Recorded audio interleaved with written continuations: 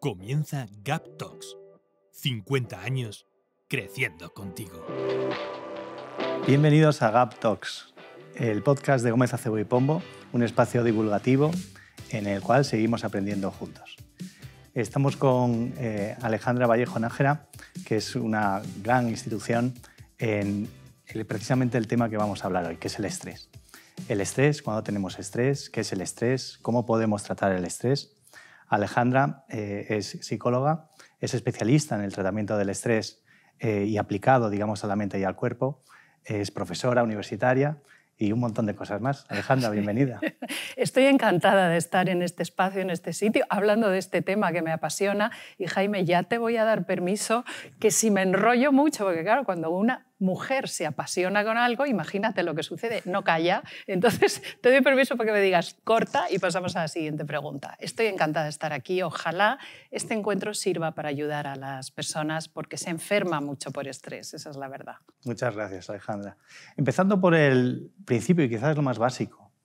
¿Qué es el estrés? Porque realmente cuando eh, oímos o escuchamos la palabra estrés, eh, realmente nos viene un pensamiento, un sentimiento negativo. Es decir, ¿es, ¿es el estrés negativo? ¿Tenemos estrés todos?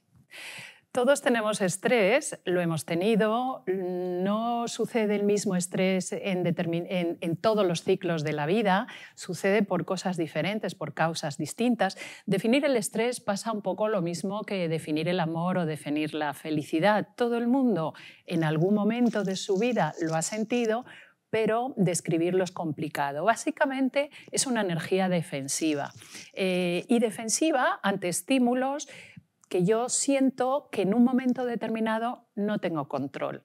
La diferencia entre el estrés productivo que ayuda a encontrar es como esa energía que te propulsa en la búsqueda de una solución y en encontrar una solución y saber aplicar esa solución para que la circunstancia que te llevó a necesitar solucionar no se vuelva a repetir o se repita de otra manera.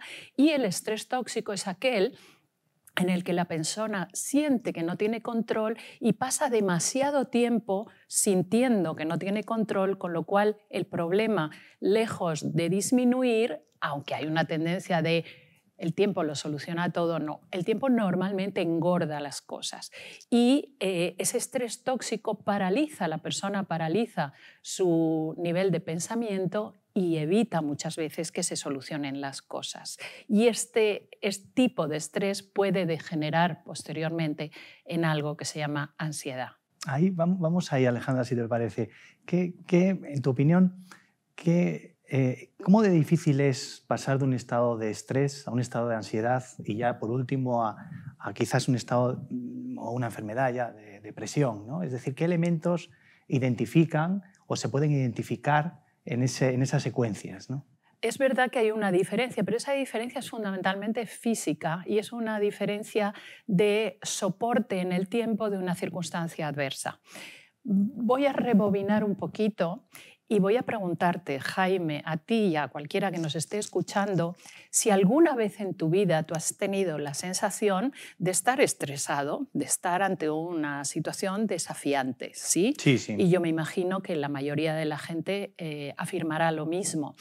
Sería muy grave que alguien dijera que no siente haber pasado ninguna circunstancia estresora o estresante nunca, porque eso es una patología psiquiátrica. Hay una enfermedad que es ausencia de estrés con lo cual esa persona comete imprudencias temerarias porque carece de todo tipo de prudencia. Siempre necesitamos una capacidad preventiva, siempre necesitamos un control de una situación. Vale, entonces tú tienes la sensación y puedes afirmar, como yo también, que hemos pasado por circunstancias complicadas. Asimismo, te voy a preguntar, tú tienes la sensación, el recuerdo de alguna situación vital donde hayas sido feliz, hayas estado bien, te hayas sentido cómodo. Por supuesto, sí, sí. Genial. Te pregunto, ¿cuál crees tú que es la diferencia entre una situación y la otra? ¿Qué tiene que pasar para que tú notes que existe esa diferencia? Pues yo creo que em, muchas veces nos, creo, en, mi opinión, muchas veces nos dejamos influenciar por las circunstancias externas y asimilamos mal lo que o de una manera incorrecta esa circunstancia externa en nosotros mismos. De tal manera que al final depende, creo, mucho de cómo asimilamos o llegamos a asimilar realmente las eh, circunstancias que nos vienen de fuera. Cómo podemos controlar, digamos, esas, esas circunstancias y adaptarnos a ellas. Es decir, para poder bueno, ser de una manera equilibrada, tener un, rigor, un, etc. ¿no? Yo creo que, es, que, creo que es eso. Tengo un problema, es que soy psicóloga y hago preguntas. Pero lo has definido fenomenal, fenomenal. Porque es así. No depende tanto de la circunstancia que influye, sino de cómo te tomas esa circunstancia. El trauma, por ejemplo, depende de una circunstancia adversa y la herida que eso te produce interiormente cuando te falta experiencia para superar esa situación eh, hiriente y cómo te quedas con esa herida sangrando el resto de tu vida. Ese es el trauma. Bueno, pues con el estrés pasa un poquito lo mismo. Dicen los grandes especialistas, en este momento hay una que se llama Sonia Lyubomirsky, el apellido muérete para escribirlo porque tiene todas las consonantes del mundo en el medio, pero esta mujer se ha dedicado a investigar el bienestar. ¿De qué depende el bienestar? Y allí encuentra algo que tira por tierra todo lo que yo estudié en la carrera en mis tiempos antiguos, donde se decía que todo comportamiento humano, absolutamente todo, era susceptible de cambio. Esta mujer, Sonia Lyubomirsky, afirma que solo el 10% de las circunstancias realmente afectan al bienestar. El 50%, imagínate la proporción, el 50% restante depende de tu carga genética carga genética, o sea, y, luego el 40% restante de tu inteligencia y tu educación. No es lo mismo una persona que debido a su formación, a su educación, a su nivel de aprendizaje, haya desarrollado una inteligencia que le va a permitir solucionar problemas, que es para lo que básicamente sirve la inteligencia. Bien, pero eso es el 40%. El 50% restante, según esta investigadora, depende de tu carga genética. Quiere decir eso que según yo he nacido, me voy a morir y es muchísimo mejor que yo me descubra cómo es esa carga genética. Básicamente, estamos divididos en dos grupos. Evidentemente, eh, tenemos factores en nuestro comportamiento que hacen de nosotros seres únicos, afortunadamente. ¿no? Sin embargo, digamos que la plataforma sobre la que se edifica nuestro comportamiento es de dos tipos. Uno de esos tipos es energía rápida. ¿Qué es el temperamento? ¿Qué es la carga genética? Es tu reactividad ante los estímulos sin que intervenga la educación, por ejemplo. Entonces, em, bueno, e, y, la inteligencia, la educación y la inteligencia. ¿Qué es la reactividad? Es el pronto. Una persona inmadura tiene esa carga genética sin modificarla con la inteligencia y con la educación cuando tenemos inteligencia y tenemos educación, ese pronto, pues, pues sabemos más o menos gestionarlo. Ahora bien, ese pronto, incluso aunque seamos adultos, incluso aunque seamos personas con, con formación, personas educadas, ese pronto va a salir a la primera. Y ese pronto se manifiesta en el cuerpo y en cómo el cuerpo reacciona ante un determinado estímulo. Y hablábamos de dos grupos. Hay un grupo que en los niños se nota mucho porque la inteligencia y la educación todavía no tienen un papel relevante, pero en los adultos también se nota. La cuestión como adultos es autopillarse, descubrirse. ¿Cómo soy? ¿Qué me pasa? ¿Quién soy? Porque no hay nada peor que vivir una vida o pretender reaccionar. ¿Cómo no? ¿Cómo no reaccionas genéticamente. Entonces eso te va a llevar a un desencanto, a un desengaño, a una falta de autoestima y a un darse más tortas de la que te mereces. ¿no? Entonces estos dos grupos básicamente son de reacción rápida, son aquellas personas que necesitan resultados inmediatos, que no se lo piensan dos veces, que tienen esa capacidad, pero es que la tienen desde que nacieron. Hay niños con llanto tranquilo, hay niños con llanto irritativo, hay niños más extrovertidos, hay niños más observadores y más tímidos. Así evolucionamos como adultos. A lo mejor yo nací con la condición, a lo mejor de energía más lenta, más observadora, más de eh, cómo me siento yo ante esta situación, pero he tenido quizá unos padres que son del otro tipo, porque esto es carga genética, lo puedo haber heredado de un abuelo, pero mis padres lo que me van a empujar es a, solucionar los problemas cómo les funciona a ellos. Igual yo soy de otro tipo. Entonces, al ser de otro tipo, me impongo una reactividad que no es la que tengo espontánea y naturalmente. Llevando esto al terreno que preguntabas de la diferencia entre el estrés, la ansiedad y la angustia, tiene todo que ver con la velocidad a la que suceden mis pensamientos. El estrés cursa con rapidez y esa rapidez muchas veces va acompañada de rapidez corporal. Surge con eh, diversidad de pensamientos donde no me concentro en nada concreto porque quiero rellenar un informe de trabajo, pero enseguida me acuerdo de que igual, uy, la compra y qué voy a comer luego y qué deporte voy a hacer y a qué amigo voy a llamar. Y llega un momento que, mm, ¿dónde están las llaves que iba buscando desde el principio? O sea, te pierdes y al perderte mm, pierdes enorme cantidad de atención y no le das el tiempo necesario a aquello en lo que te quieres concentrar para obtener un resultado satisfactorio. Tomas decisiones precipitadas, te duele la cabeza, duermes mal, el sueño, la calidad de sueño es algo que se va a notar rápidamente y que me va a dar información de que estoy estresado con independencia de microbiota, que ahora tiene, eh, podemos hablar más adelante de ello. Bien, esta es una, una situación. Lo que pasa es que el, el sistema nervioso se agota cuando suceden todas esas cosas y cuando se agota pasas a la ansiedad y la ansiedad normalmente cursa con bloqueo mental aunque corporalmente puede suceder que el corazón esté muy acelerado, que estés de los nervios, pero tengas niebla mental, no sepas dónde está el resultado, con bloqueo. Cuando pasas demasiado tiempo así, igual como estás bloqueado, estás dedicándole excesivo tiempo, pues a lo mejor a un proyecto profesional a una situación adversa, pero no encuentras la salida. Estás como en esa situación rumiante una y otra vez y una y otra vez. Y es fácil caer en el burnout o la angustia, donde en casos extremos la persona puede sentir que eh, se va a morir, que le está dando un ataque al corazón, porque aunque estás relantizado tu cuerpo, sin embargo, tu mente eh, está bloqueada y tiene angustia por salir.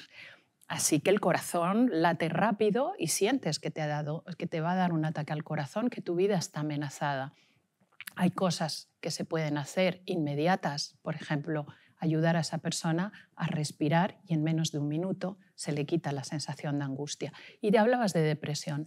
Hace, hasta hace poco tiempo se pensaba que la depresión era causas de otro tipo. Ahora se sabe que la antesala de la depresión es sostener demasiado tiempo, en el, demasiado tiempo la situación de ansiedad o estrés sin poner remedio. Llega un momento que el nivel de, o sea, la energía del sistema nervioso se detiene y te obliga a detenerte. La depresión es ausencia de emociones Has comentado antes, Alejandra, un aspecto muy importante que yo creo que ahora se está eh, avanzando mucho en él, ya pues yo creo desde el siglo pasado, principios de este, de este siglo, que es eh, la genética. Es decir, cómo, eh, ¿qué relación hay entre genética y estrés? ¿Cuánto de ese estrés es heredado?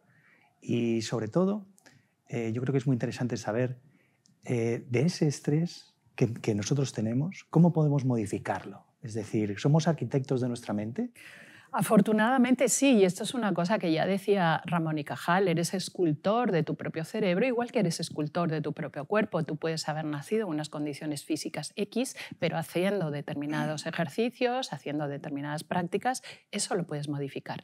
Hasta ahora no se sabía que también eso podíamos hacerlo con el cerebro. Cuando yo estudié la carrera, por ejemplo, se decía eh, mm, que, que, que la inteligencia crecía hasta los 25 años aproximadamente y decías, es que ya tengo 28. Ah, haber espabilado, ¿no? Y, bueno, pues era muy dramático, o sea, había que estudiar mucho para poder luego vivir de las rentas. Ahora sabemos que existe algo llamado neuroplasticidad y que podemos hacer bastantes cosas para ello. Tú preguntabas hasta qué punto nacemos o nos hacemos, las dos cosas. Digamos que el, nacer, las condiciones genéticas son muy importantes. Fíjate, dice Sonia Lyubomirsky, que el bienestar depende hasta un 50% en ser respetuoso con tu sistema reactivo y eh, saber mm, descubrirte a tiempo. Cómo, y no me voy a forzar, porque todos cumplimos un papel en la sociedad y de todos se necesita, si todos estamos hablando todo el día, quien escucha, quien aprende, quien atiende, quien puede hacer un trabajo más pausado, más reflexivo cosa que es eh, muy interesante también. ¿no? Sin embargo, esas condiciones, ese campo, lo puedes abonar o no abonar o dejar que se vuelva un campo yermo y, y muerto. Entonces, ese abono se llama epigenética. La epigenética va a depender mucho de cómo son tus padres, cómo tus padres te han dicho que te tienes que desenvolver en el hogar y fuera de casa, cómo son los hermanos, son muy importantes. Se le da poquísima importancia a los hermanos, pero son importantísimos, porque los, los hermanos son el campo de experimentación con congéneres que tenemos dentro de casa. Y la movida entre los hermanos va a tener mucho que ver con cómo te vas a mover tú luego fuera de casa en relación a los demás. Bueno, es un tema que se sale un poco de, del programa que tenemos hoy entre manos, que hablamos del estrés, pero de los hermanos, de cómo te traten, de cómo los padres designan a un hijo ideal en función de su modelo idóneo de comportamiento,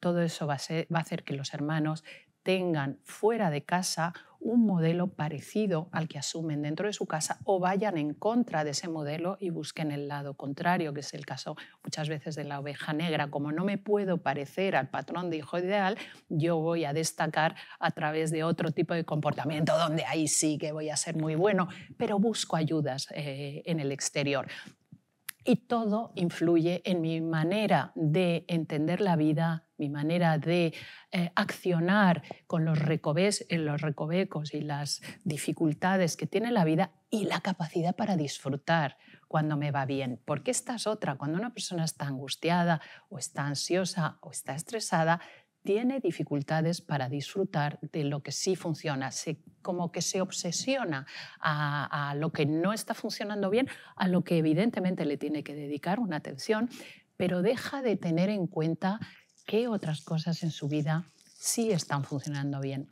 Yo participé durante bastantes años como investigadora en un sitio que se llama Instituto de la Felicidad que suena Huxley, pero que es algo que realmente existe. Nos dedicamos básicamente a averiguar qué es lo que define a las personas cuando se autodefinen como, como que son felices. Y hay muchos eh, rasgos que están publicados y que no me voy a extender demasiado sobre ellos, pero básicamente descubrimos que en el mundo entero, con independencia de las culturas, que influyen muchísimo también, y de las sociedades, hay 10, al menos 10, te lo voy a decir de memoria, espero acordarme de todas, pero hay 10 factores, 10 aspectos, 10 em, situaciones que hacen que las personas se describan más o menos felices. Y estas son la familia primaria, esto en primer lugar. No te las voy a decir en orden de importancia porque cada uno tiene que pillarse, ¿no? ¿Dónde, dónde voy mejor? Imagina que esto funciona como un, como un mapa. Pero la familia primaria es muy importante, padres y hermanos, como te decía antes. Después está la familia elegida. Eh, en esa familia elegida, pues entonces a lo mejor una persona puede estar muy estresada porque no encuentra pareja o porque no se lleva bien con la persona elegida. Hay un factor de suerte, desde luego, pero también hay que tener ganas y el otro ser correspondiente con esas ganas. Eh, si se tienen hijos, si no se tienen hijos, si se decide o no se decide tener hijos que sería la familia secundaria. Después está la salud. La salud influye muchísimo porque dedicamos una enorme eh, cantidad de, tiempo al trabajo, porque el trabajo nos da autoestima. de hecho, Muchas veces cuando nos vamos a describir ante otra persona, tú quién eres, muchas veces le dices lo que haces, en qué trabajas, qué es lo que has estudiado. Entonces, eh, decir que el trabajo no es importante, no, el trabajo es importantísimo y es muchas veces lo que nos garantiza que somos útiles y servimos. Pero ¿qué pasa cuando nos falla la salud? El trabajo deja de ser importante. Entonces la salud es muy importante. También eh, la formación, la educación, el aprendizaje, el tener curiosidad para aprender cosas nuevas, porque el cerebro se nutre con eso que estás aprendiendo. Cuando una persona pierde curiosidad, los que nos dedicamos a la salud mental o al deterioro cognitivo o a cómo funciona el cerebro, decimos, cuidado, esta persona ha dejado de tener interés por incorporar información nueva que pueda ser desde me meto en un coro a cantar, aprendo a tocar un instrumento de música, o sea, que dicen, no, pero si tú eres, yo qué sé, científico, sí, pero tengo un amigo que es científico que se ha empezado, ha empezado a estudiar magia. Bueno, está apasionado y qué bien que estudie magia. Y a lo mejor sus colegas le dicen, hombre, ¿cómo vas a ser un mago si Pues sí, pues es estupendo aprender. Entonces te decía, aprendizaje, educación, ganas de incorporar información nueva para hacer algo con ella. Después están los amigos. Los amigos son la familia que elegimos, son el mayor de los apoyos, el poder compartir los ratos de satisfacción y que no te van a juzgar cuando no te va bien, que no van a hacer leña del árbol caído. Elegir buenos amigos es importante. Después está el ocio, que incluye tiempo de descanso, que incluye tiempo de reponer. ¿Cuánta gente, por ejemplo, en fines de semana sigue trabajando? Y no porque sea obligatorio hacerlo, sino porque se ha olvidado de disfrutar y de descansar en los tiempos de descanso. Y de hecho, hablando de estrés, es cuando se suele disparar, porque es como que las defensas te han bajado y es cuando ya el estrés avisa a través de reacciones corporales. También está el trabajo, hablábamos de ello, y también está la seguridad económica. Estresa mucho pensar que no tienes para comer mañana, estresa mucho pensar que tus hijos no van a poder recibir la educación necesaria. Entonces, que el trabajo sirva para tener una seguridad económica, que no quiere decir estar forrado, porque a lo mejor estás forrado y estás muy preocupado de cómo vas a gestionar todo ese patrimonio que tienes o si te lo van a robar o, no te lo van a robar. Eh, también está por ejemplo, el, e, ser, eh, eh, la espiritualidad, que es curioso que no se le da la importancia que tiene, es, tiene una importancia enorme, enorme, sobre todo cuando, cuando no te van bien las cosas. Entonces, apoyarte en algo más grande que tú, el notar que eres una minúscula partícula de, de una sociedad gigantesca que forma parte de la Tierra, que es un planeta así de pequeño, si miras la galaxia, eso es la espiritualidad, la trascendencia ser algo más grande y más importante. Y luego también está la paz interior y la, em, y la libertad. Tener sensación de que eres libre de poder elegir cambiar aquello que no te está funcionando. Entonces, el estrés y la ansiedad se produce cuando hay exceso o defecto en alguno de estos parámetros. Hemos mencionado 10, no, no, los he contado, pero yo, creo que sí, que los he dicho casi todos. Entonces, exceso de efecto. Y hablo de la familia, por ejemplo, no digamos del trabajo, bueno, de cualquiera. Si tengo exceso de dinero, igual estoy muy estresada porque los, los impuestos, no sé qué, cómo voy a trampear o cómo, yo qué sé, cada cual que tenga eso, lo que tenga. Y si tienes defecto, lo mismo. Pero vamos a hablar, por ejemplo, de algo como la familia, en lo que nadie piensa hay personas que le dedican a su familia excesivo tiempo, atención, dedicación y están en detrimento del cultivo de sus propias aficiones, del cultivo de sus propias amistades, que, luego qué pasa cuando los hijos se van de casa, pues entras en el síndrome del nido vacío, porque de repente dejas de ser quien has venido siendo por dedicar exceso de tiempo a eso o puede suceder lo contrario, eh, déficit de tiempo. Y entonces, eh, ¿ves? En esos 10 parámetros hay exceso de efecto. Y la cuestión aquí, o el truco o la aventura, es descubrir cuál te va mal, cómo eso que te va mal repercute en los otros sistemas, porque pasa con el cuerpo exactamente lo mismo. Si a ti te falla un riñón, no te preocupes. De momento, durante una temporada, el resto de los órganos se van a poner a disposición de tu salud para suplir un trabajo que ese órgano dañado no puede cumplir. Pero claro, con un límite de tiempo, porque si tienen que hacer su propio trabajo más el del órgano que está deficitario, mm, va alguno a enfermar cuando no le corresponde hacerlo. En el comportamiento humano pasa lo mismo. Entonces, ¿cuál es el truco? Hacer un análisis de en qué parte de estos 10 eh, elementos estoy en déficit, estoy en exceso y cómo esto afecta a los demás. Te pongo el ejemplo. Si yo tengo un problema de pareja, familia secundaria, si tengo un problema ahí, igual mi tiempo de ocio eh, se ve dañado, porque hasta ahora he estado disfrutando de los ratos de ocio con quien ha sido mi pareja. Igual los amigos también se van a repercutir, porque hasta ahora compartíamos los amigos juntos. Igual ahora o bien eh, arreglo mi situación de pareja y se arregla lo demás, o bien, eh, sabiendo esto, no voy a dejar que los demás elementos se dañen. Entonces voy a cultivar amigos personales, voy a cultivar, voy a ser capaz de descansar y disfrutar en los ratos de ocio. Pongo un ejemplo así que se me ocurre. Pero si tú miras, eso es un mapa que pasa exactamente lo mismo en el organismo. Cuando hay un elemento que se daña, los demás al principio, y este es el problema del estrés, que al principio te da la sensación de que lo puedes aguantar, de que lo puedes soportar, de que todo va a cambiar, de que hay una manera de solucionar los problemas y es entendiendo la dimensión que tienen y cómo afectan a tu vida y reconociendo la implicación que tú tienes en ello. Pero tendemos a utilizar 10 vías, al menos 10, de no solución y de creencia de que estamos solucionando.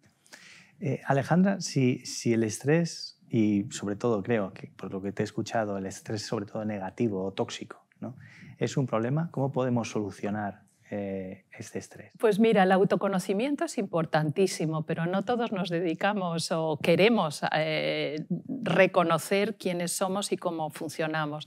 Es muy clarificador hacerlo, pero curiosamente da miedo, a la gente le da miedo. Yo digo, si naciste contigo, te vas a morir contigo, qué pena que seas a la única persona a la que no quieres conocer. Pero vamos a asumir que sí nos conocemos. Entonces, ante un problema, ante un problema hay solo una solución. Pero normalmente tomamos muchos atajos, bastantes atajos. Creo que están estipulados hasta 10. Eh, no sé si voy a ser capaz de repetírtelos de memoria, pero te van a sonar los que sí me acuerdo. Mira, básicamente hay dos, dos vías, mm, dos bifurcaciones. Una es el escapar, el huir, y otra es el quedarse paralizado. Y luego, sobre estas dos vías, hay mm, como subgrupos, ¿no? carreteras laterales. Entonces, una de ellas es eh, echarle la culpa a los demás, al jefe, al cónyuge, a los hijos, la circunstancia, al gobierno, el tiempo, la policía, echarle la culpa a otros. Otra vía es negarlo. Problema yo, yo no tengo ningún problema. Tienes tú el problema. Es negarse a reconocer que tienes un problema. Otra vía es esperar que alguien más fuerte venga a solucionarlo.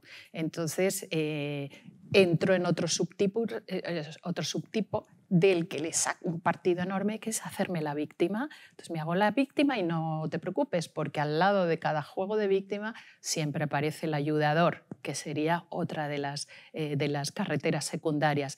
El ayudador, la persona que para no sentir que tiene un problema, se fija en el problema de los demás y cree que es maravillosa y estupenda porque soluciona el problema de los demás. Llevado a un extremo, esto sería un caso de codependencia o de dependencia. ¿no? Entonces le saca un partido enorme el juego de víctima que, que, se está... Todos que conocemos a un quejica, ¿no? que se está quejando de todo. Bueno, pues es que le saca un partido enorme y no va a dejar de ser, de ser quejica porque le saca un partido enorme. ¿Qué es cuál? Poner en otros la responsabilidad responsabilidad de la solución. Entonces, ah, eso luego te exijo que me lo soluciones como a mí, como a mí me gustaría. O también otra vía es, em, me hago muy fuerte, o sea, yo soy la persona fuerte que todo lo soluciona, que es el caso, por ejemplo, del ama de casa o de la madre que recoge la habitación de los hijos, que no delega eh, las responsabilidades a quien le corresponde, sino que como una heroína recoge las habitaciones de los hijos, le despierta por la mañana, el niño tiene 28 años, de preparar la comida para que vaya. Bueno, pues también es otra, otra vía ¿no? para, para generar de, dependencias. Otra vía a la que yo he sido muy adicta, eh, vamos, aficionada, en un momento determinado era el hiperanálisis. Entonces, ¿qué ha pasado? ¿Y qué me dijo? ¿Y a qué hora fue? ¿Y cómo? ¿Y qué tono? ¿Y qué...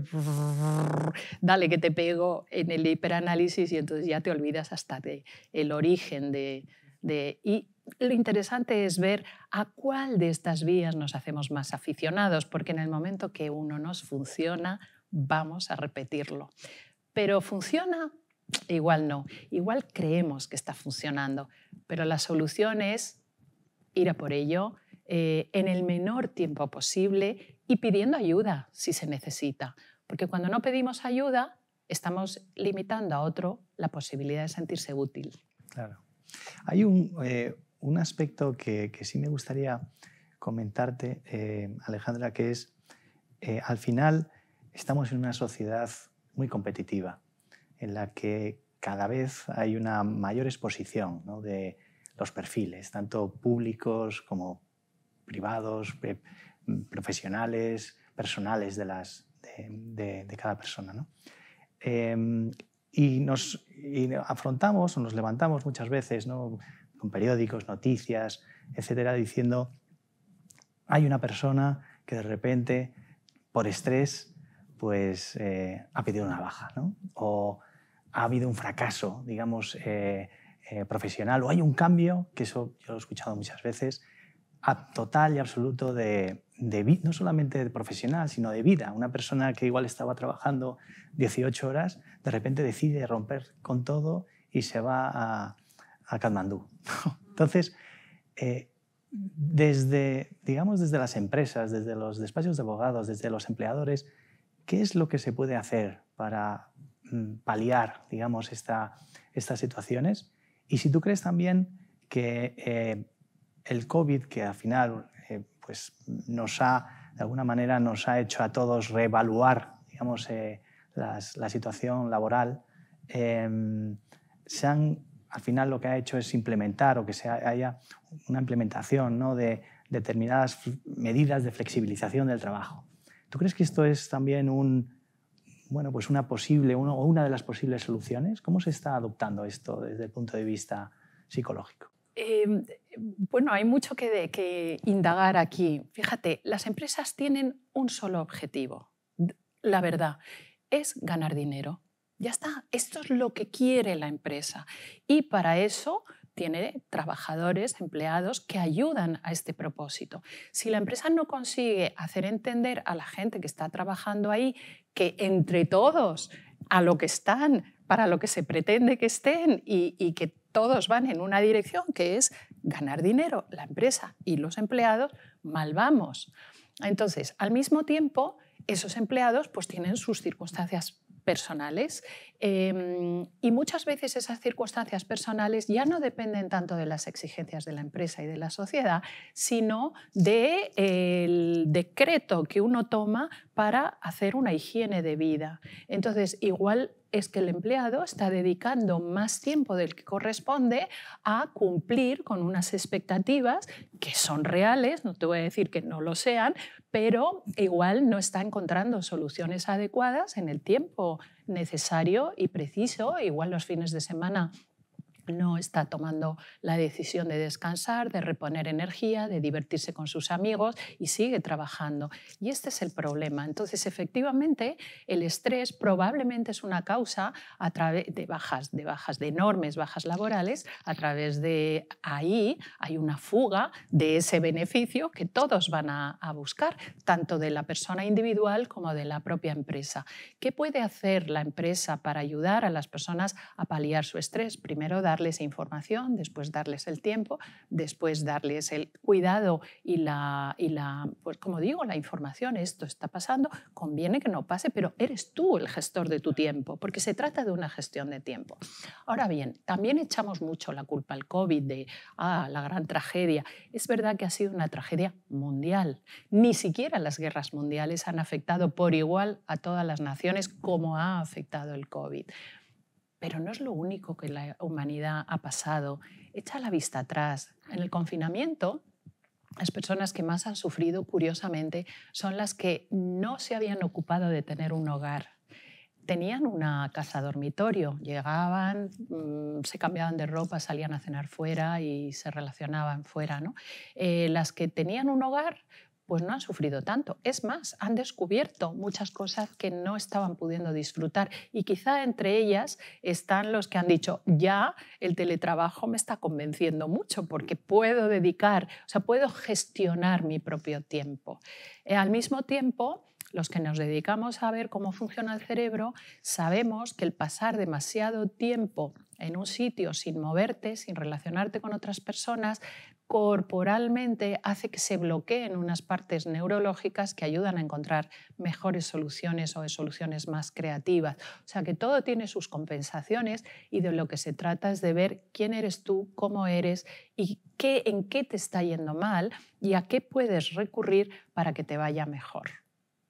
Estamos ya eh, en el final, ya Alejandra, lamentablemente, eh, pero no, no, me gustaría dejar eh, esta, bueno, este coloquio tan, tan interesante sin hacerte una última pregunta. ¿Depende el estrés y la gestión del estrés únicamente de la mente? Es decir, Afortunadamente no, porque eh, a veces cuando los caballos se nos vuelven muy salvajes, se te ha despertado la bestia, mm, alimenta la que engorda y va a engordar, ¿no? Y entonces ya te has secuestrado. Afortunadamente podemos hacer varias cosas. La primera es el cuerpo. Hacer ejercicio físico consciente, porque otra cosa es hacer ejercicio físico para escapar. Entonces te lesionas, te haces daño, pero un ejercicio físico consciente ayuda enormemente. Movimiento del cuerpo, la respiración adecuada, oxigenar adecuadamente. Otro ejercicio interesante es la respiración, ya he hablado de ello, pero es respiración consciente. Cinco minutos, tres minutos, dos minutos, pararte y oxigenar. Fíjate, tenemos pulmones que albergan tres litros de aire qué poco eh, lo llenamos. Cuando eh, estamos muy acelerados y respiramos cortito, eh, resulta que no se oxigena ni la sangre ni el cerebro. Entonces, parar unos momentos y respirar en coherencia cardíaca, es decir, mismos segundos de inhalación, de exhalación, que idealmente son cinco segundos. Tomar, tomarte este, este tiempo tener higiene alimenticia. Esto es fundamental. Toda la microbiota, lo que se está descubriendo, eso da para otro programa, ¿no? Cómo afecta a todo el organismo y sobre todo también al cerebro. Y higiene de sueño. O sea, ser riguroso con eso, la higiene de sueño, porque cuando estamos durmiendo pasan cosas maravillosas en el cerebro e interesa mucho que pasen. El sistema de barrido de la basura neurológica, le tenemos que dar tiempo para que actúe y se lleva siete horas. Si no, las, si no las duermes o duermes menos, es como si dejaras basura en la puerta de tu casa y que pasa el camión y se lleva solo una bolsa de las cinco que tienes ahí. Entonces, higiene de sueño también. Muchas gracias, Alejandro. La verdad es que ha sido un placer tenerte aquí y yo seguiría aquí horas y horas, pero comprendo que tenemos más, más cosas. Muchas gracias, Alejandro. Gracias a vosotros y gracias a estas oportunidades que nos da GAP. Muchas gracias. Bye.